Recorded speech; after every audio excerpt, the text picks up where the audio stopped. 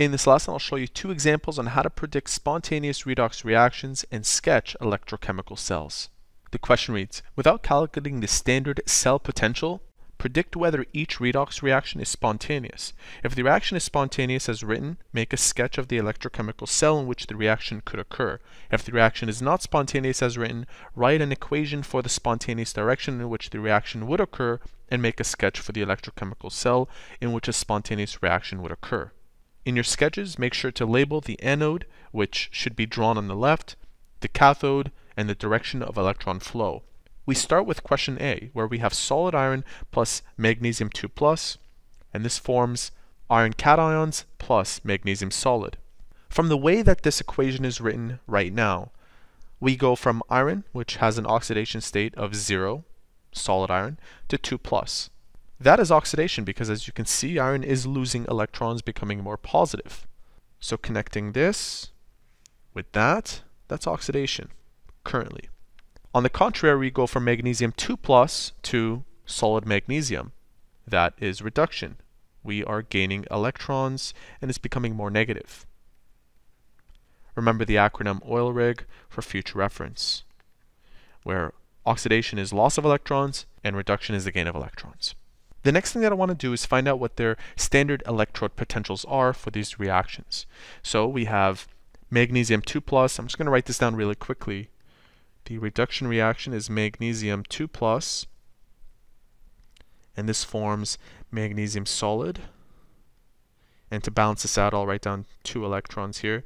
And the oxidation is iron solid forming iron 2 plus, and we'll write down two electrons. So we're going to find the standard electrode potentials for this one first, magnesium, and we can use this chart to do that. It has an electrode potential of negative 2.37. Negative 2.37 volts, and for the other one, it's negative 0.45, negative 0.45 volts. What's very interesting right now is that we're being told this reaction is the reduction, but its electrode potential is more negative than the other one. Notice that this is more negative than negative 0.45. Because it's more negative, it's more likely to repel electrons than the other reaction, and therefore is more likely to be oxidized, even though in this direction it's being reduced. So this one is more likely to be oxidized. And the same can be said for the other one. This is more positive than negative 2.37. Therefore, it attracts electrons more strongly, and so it should be reduction. So this should be reduction and that should be oxidation. Because of this discrepancy, we say that this reaction is not spontaneous. And instead, it should be going in the opposite direction, this way. So I'm going to call this oxidation, and I'll switch the reactants with the products, and vice versa. And I'm going to call this reduction, and switch their direction as well. At this point, we can now draw our electrochemical cell, and as mentioned, the anode should be on the left side, the oxidation is always the anode. So I'll write down anode, and this is the cathode at the reduction end.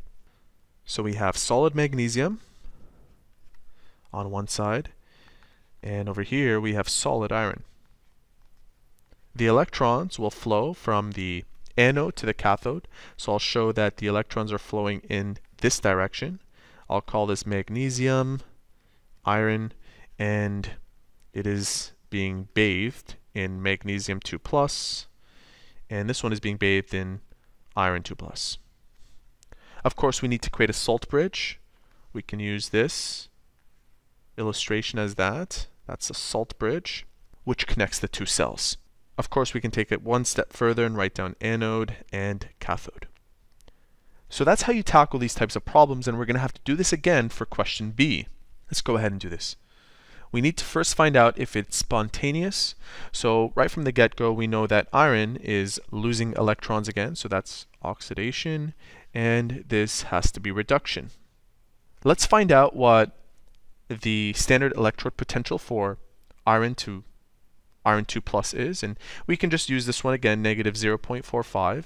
So I'll write down negative 0.45 volts, and over here, we're going from lead 2 plus to salt lead. Let's find out where that is.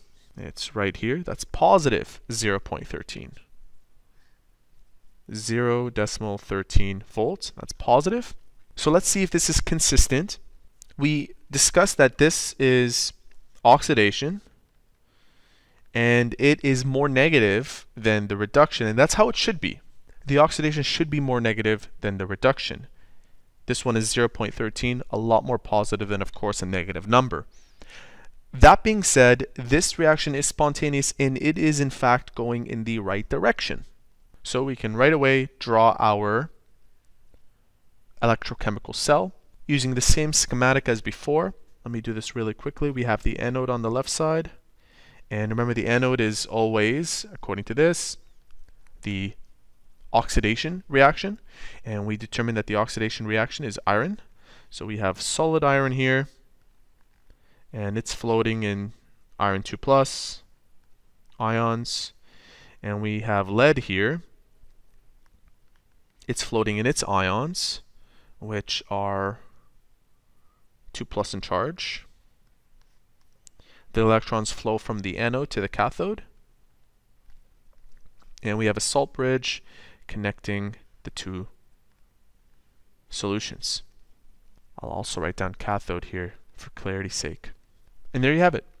Two examples on how to predict spontaneous redox reactions. If you'd like to see the answers to questions 2, please leave a comment below and I'll gladly make a video explaining how to tell if these redox reactions are spontaneous or not.